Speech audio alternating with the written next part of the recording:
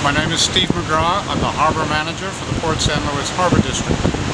And this morning we had a combination of a very high tide and a very big swell from the west and southwest directions. What that did was that brought in very large waves into Avila. They beat on the bottom of the pier and popped some of the pier deck boards loose.